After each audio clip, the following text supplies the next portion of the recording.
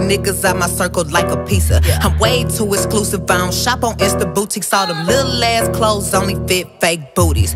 Bad bitch, still talking cash shit. Pussy like water, I'm a mother and relaxing.